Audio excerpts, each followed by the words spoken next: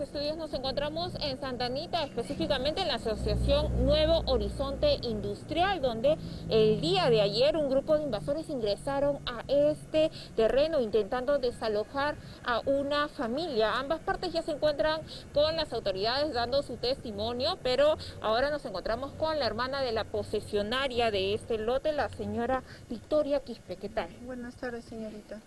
Cuéntenos por dónde ingresaron estas personas. Los uh, de ahí adentro salen por aquí, entran y rompen la puerta.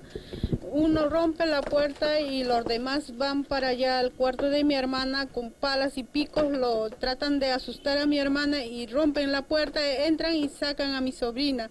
Y el otro muchacho que está rompiendo el candado, la, abre la puerta para que entran los demás gentes por la puerta. ¿Cuántas personas estaban en esta casa?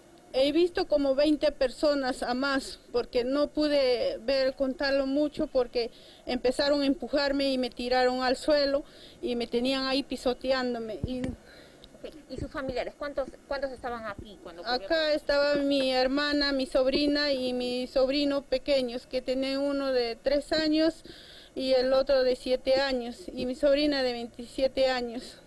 El lote que está al costado, el, al, por donde podemos ver ¿Quiénes, ¿Quiénes son los dueños de este, este lote?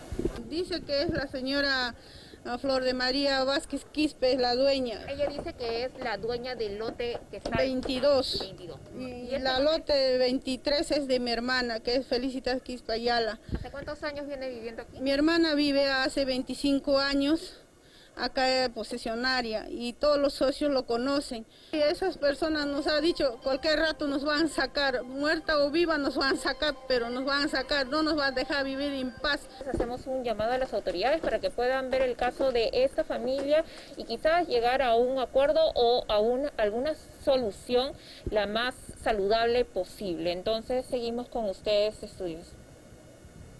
Así es,